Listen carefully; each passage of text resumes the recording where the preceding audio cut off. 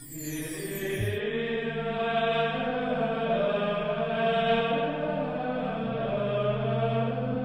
el nombre del Padre, y del Hijo, y del Espíritu Santo, el Señor esté con vosotros.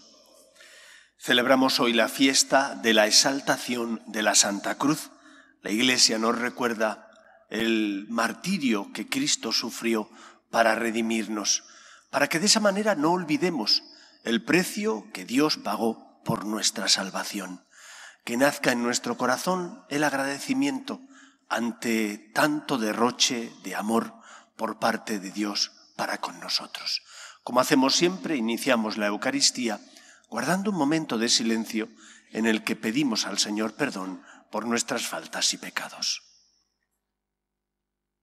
Tú que has venido a salvar a los pobres, Señor, ten piedad. Señor, ten piedad. Tú que dijiste que había en el cielo más alegría por un solo pecador que se convirtiera que por noventa y nueve justos que no necesitan conversión, Cristo, ten piedad.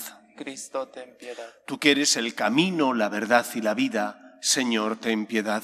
Señor, ten piedad. Dios Todopoderoso, tenga misericordia de nosotros, perdone nuestros pecados y nos lleve a la vida eterna. Amén. Gloria a Dios en el cielo y en la tierra paz a los hombres que ama el Señor. Por tu inmensa gloria te alabamos, te bendecimos, te adoramos, te glorificamos. Te damos gracias, Señor Dios Rey Celestial, Dios Padre Todopoderoso, Señor Hijo único Jesucristo, Señor Dios, Cordero de Dios, Hijo del Padre, tú que quitas el pecado del mundo, ten piedad de nosotros. Tú que quitas el pecado del mundo, atiende nuestras súplicas. Tú que estás sentado a la derecha del Padre, ten piedad de nosotros, porque solo tú eres santo, solo tú Señor, solo tú Altísimo Jesucristo, con el Espíritu Santo, en la gloria de Dios Padre. Amén. Oremos. Señor Dios nuestro, que has querido realizar la salvación de todos los hombres por medio de tu Hijo muerto en la cruz. Concédenos, te rogamos, a quienes hemos conocido en la tierra este misterio, alcanzar en el cielo los premios de la redención. Por Jesucristo nuestro Señor. Lectura de la, lectura de la carta del apóstol San Pablo a los filipenses. Cristo, a pesar de su condición divina, no hizo alarde de su categoría de Dios. Al contrario, se despojó de su rango y tomó la condición de esclavo, pasando por uno de tantos, y así, actuando como un hombre cualquiera, se rebajó hasta someterse incluso a la muerte y una muerte de cruz. Por eso Dios lo levantó sobre todo y le concedió el nombre sobre todo nombre, de modo que al nombre de Jesús toda rodilla se doble en el cielo, en la tierra, en el abismo, y toda lengua proclame, Jesucristo es Señor, para gloria de Dios Padre. Palabra de Dios. Te alabamos, Señor. No olvidéis las acciones del Señor. No olvidéis las acciones del Señor. Escucha, pueblo mío, mi enseñanza. Inclina el oído a las palabras de mi boca, que voy a abrir mi boca a las sentencias para que broten los enigmas del pasado. No olvidéis las acciones del Señor. Cuando los hacía morir lo buscaban y madrugaban para volverse hacia Dios. Se acordaban de que Dios era su roca, el Dios altísimo su redentor. No olvidéis las acciones del Señor. Lo adulaban con sus bocas, pero sus lenguas mentían. Su corazón no era sincero con él, ni eran fieles a su alianza. No olvidéis las acciones del Señor. Él en cambio sentía lástima, perdonaba la culpa y no los destruía. Una y otra vez reprimió su cólera y no despertaba todo su furor. No olvidéis las acciones del Señor. Aleluya.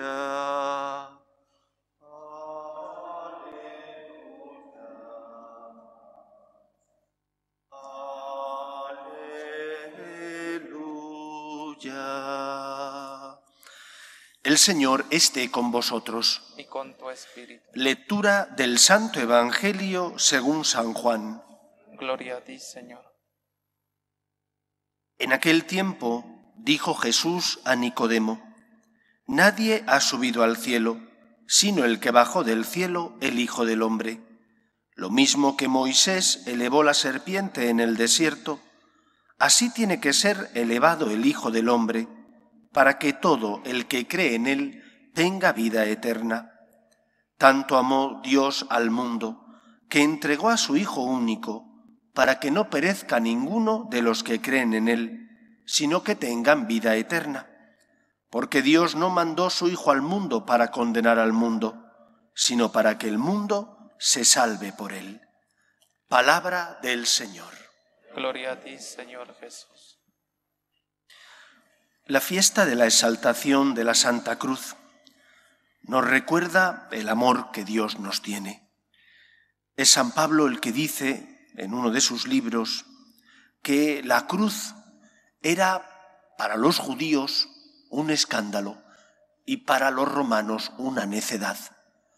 Una necedad para los romanos porque alguien que, busque el éxito puede entender seguir a una persona que tiene muchos seguidores en Instagram, en cualquiera de las otras redes sociales, pero seguir a una persona que ha muerto en la cruz, a un fracasado, no olvidemos que la muerte en la cruz era el peor castigo que el imperio romano reservaba para los malhechores.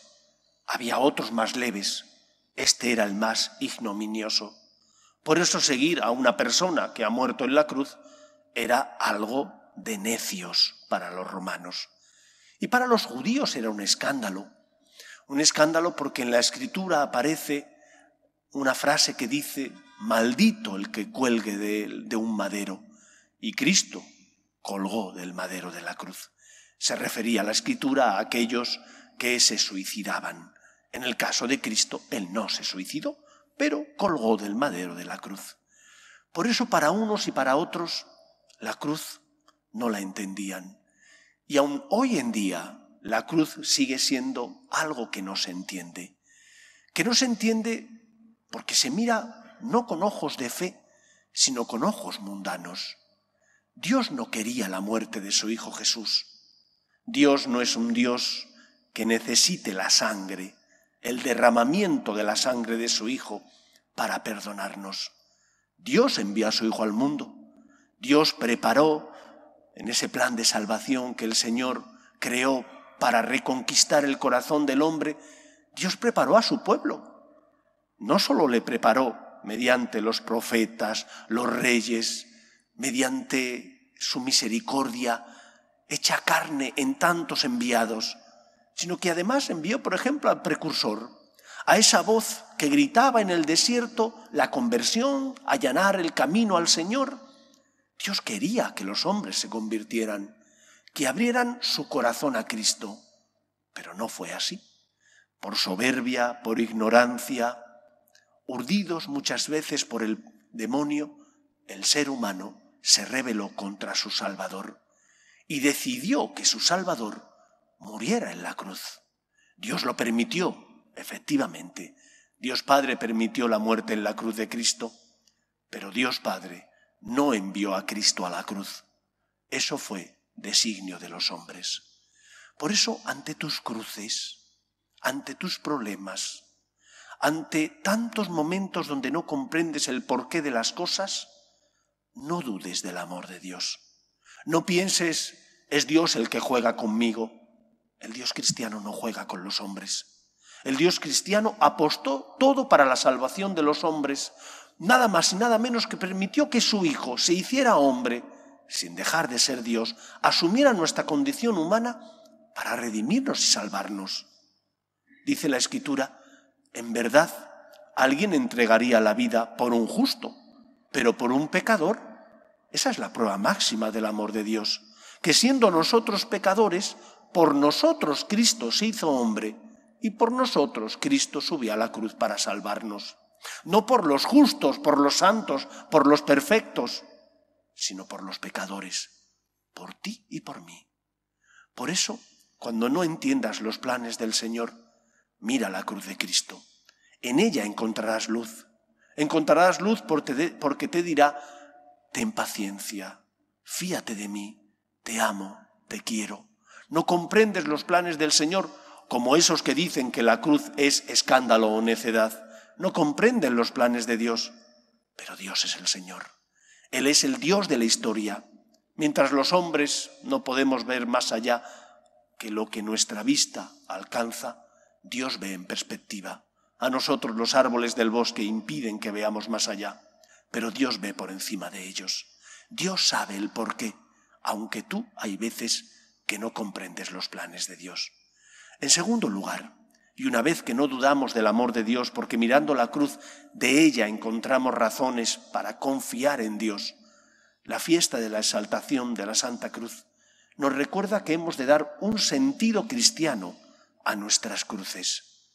La cruz no podemos llevarla porque toca, porque no me queda otra, porque como ya está aquí y por más que quiera no puedo eludirla, me toca llevarla.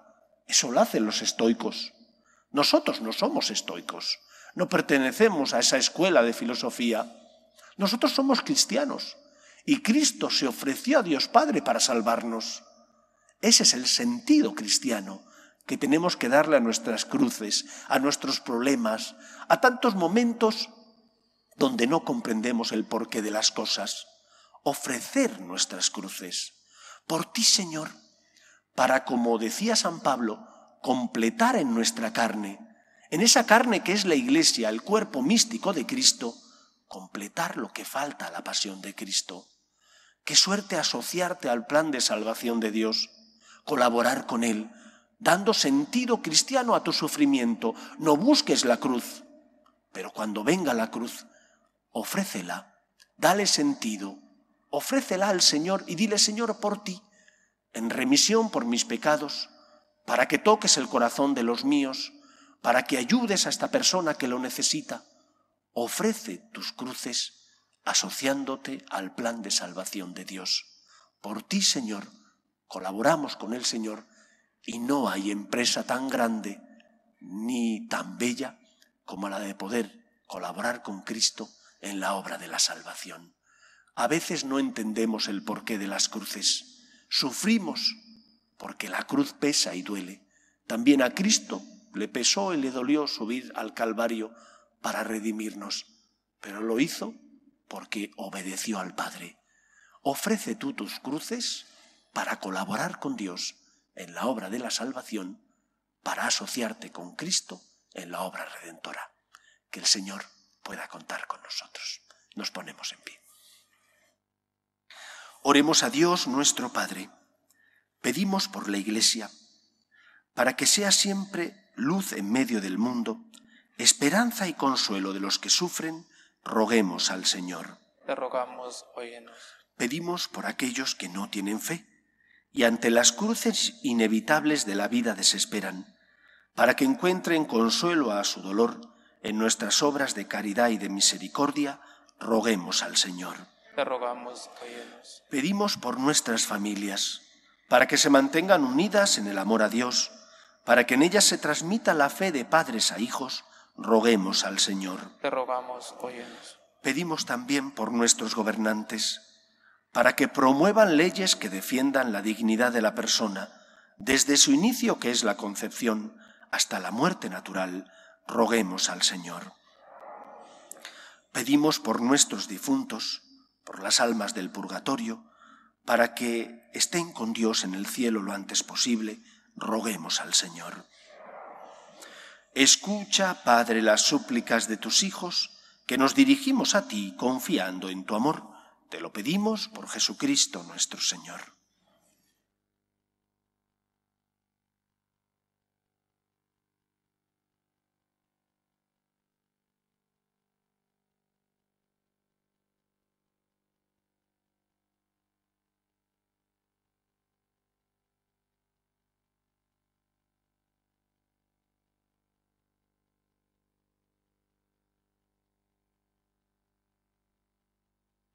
Bendito seas, Señor Dios del universo, por este pan, fruto de la tierra y del trabajo del hombre que recibimos de tu generosidad y ahora te presentamos. Él será para nosotros pan de vida.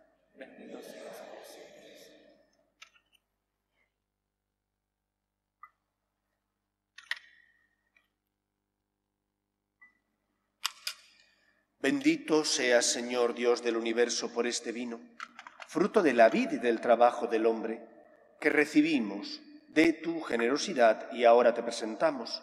Él será para nosotros bebida de salvación.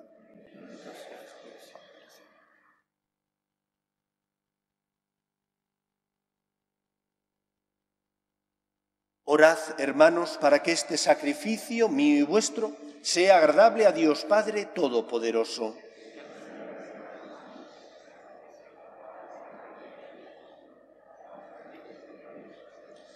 Señor, que nos limpie de toda culpa esta oblación, la misma que en el ara de la cruz quitó el pecado del mundo entero. Por Jesucristo nuestro Señor. Amén. El Señor esté con vosotros. Y con tu espíritu. Levantemos el corazón. Lo tenemos levantado hacia el Señor. Demos gracias al Señor nuestro Dios. Es justo y necesario. En verdad es justo y necesario. Es nuestro deber y salvación darte gracias siempre y en todo lugar, Señor Padre Santo, Dios Todopoderoso y Eterno, por Cristo Señor nuestro porque has puesto la salvación del género humano en el árbol de la cruz, para que donde tuvo origen la muerte, de allí resurgiera la vida, y el que venció en un árbol fuera en un árbol vencido, por Cristo nuestro Señor. Por él los ángeles alaban tu gloria, los cielos y los santos te celebran unidos en común alegría. Permítenos asociarnos a sus voces cantando humildemente tu alabanza. Santo, santo, santo es el Señor Dios del universo. Llenos están el cielo y la tierra de tu gloria. Osana en el cielo. Bendito el que viene en nombre del Señor. Osana en el cielo. Santo eres en verdad, Señor, fuente de toda santidad. Por eso te pedimos que santifiques estos dones con la efusión de tu Espíritu de manera que se conviertan para nosotros en el cuerpo y la sangre de Jesucristo nuestro Señor, el cual, cuando iba a ser entregado a su pasión, voluntariamente aceptada, tomó pan, dándote gracias lo partió y lo dio a sus discípulos, diciendo, Tomad y comed todos de él, porque esto es mi cuerpo, que será entregado por vosotros.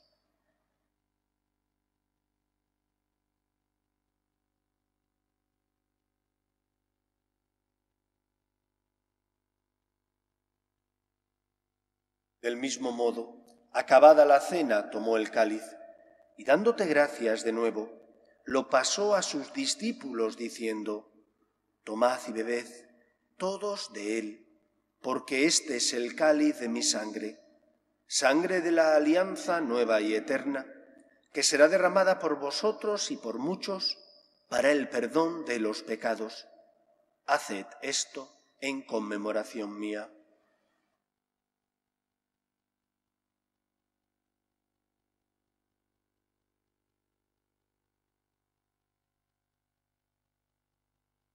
Este es el sacramento de nuestra fe. Anunciamos tu muerte, proclamamos tu resurrección. Ven, Señor Jesús. Así pues, Padre, al celebrar ahora el memorial de la muerte y resurrección de tu Hijo, te ofrecemos el pan de vida y el cáliz de salvación. Y te damos gracias porque nos haces dignos de servirte en tu presencia. Te pedimos humildemente que el Espíritu Santo congregue en la unidad a cuantos participamos del cuerpo y sangre de Cristo. Acuérdate, Señor, de tu Iglesia, extendida por toda la tierra, y con el Papa Francisco, con nuestro Obispo Carlos, y todos los pastores que cuidan de tu pueblo, llévala a su perfección por la caridad. Acuerde también de nuestros hermanos que durmieron en la esperanza de la resurrección, de tus hijos, Miguel, Herbert, Román, y de todos los que han muerto en tu misericordia, admítelos a contemplar la luz de tu rostro. ten misericordia de todos nosotros, y así con María la Virgen, Madre de Dios, San José, los apóstoles y cuantos vivieron en tu amistad a través de los tiempos, merezcamos, por tu Hijo Jesucristo, compartir la vida eterna y cantar tus alabanzas. Por Cristo, con Él y en Él, a ti, Dios Padre Omnipotente, en la unidad del Espíritu Santo, todo honor y toda gloria por los siglos de los siglos. Amén. En la parábola de los viñadores homicidas, Cristo expresa cómo el plan de salvación de Dios era convertir el corazón de los hombres. Pero aquellos a los que habían arrendado la viña, los labradores, no querían convertirse, no querían pagar los frutos convenidos, el acuerdo al que habían llegado, y decidieron matar primero a los sirvientes que iban a cobrar lo debido y segundo al hijo del dueño de la mies que el padre le envió pensando que le respetarían. Dios no quiere tu sufrimiento, es el Dios del amor, de la misericordia, es el Dios que creó el universo y puso al hombre para que disfrutara de todos estos dones, para que disfrutara de su amistad. El pecado introdujo el mal en el mundo y desde aquel momento la espina que tenemos clavada, que llamamos pecado original, nos hace a veces hacer el mal en lugar del bien. Por eso cuando tengamos que abrazar la cruz, miremos la cruz de Cristo para encontrar razones para luchar, para ofrecerla al Señor, para decirle, por ti Señor, para colaborar con Él como miembros del cuerpo místico de Cristo en la salvación de los hombres. Rezamos juntos la oración que Jesús nos enseñó. Padre nuestro que estás en el cielo, santificado sea tu nombre. Venga a nosotros tu reino. Hágase tu voluntad en la tierra como en el cielo. Danos hoy nuestro pan de cada día. Perdona nuestras ofensas como también nosotros perdonamos a los que nos ofenden. No nos dejes caer en la tentación y líbranos del mal. Líbranos de todos los males, Señor, y concédenos la paz en nuestros días, para que, ayudados por tu misericordia, vivamos siempre libres de pecado y protegidos de toda perturbación, mientras esperamos la gloriosa venida de nuestro Salvador Jesucristo. Tuyo es el reino, tuyo el poder y la gloria por siempre, Señor. Señor Jesucristo, que dijiste a tus apóstoles, la paz os dejo, mi paz os doy. No tengas en cuenta nuestros pecados, sino la fe de tu Iglesia, y conforme a tu palabra, concédele la paz y la unidad. Tú, que vives y reinas por los siglos de los siglos, Amén. la paz del Señor esté siempre con vosotros. Y con tu espíritu. Cordero de Dios, que quitas el pecado del mundo, ten piedad de nosotros.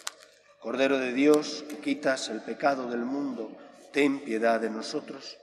Cordero de Dios, quitas el pecado del mundo, danos la paz.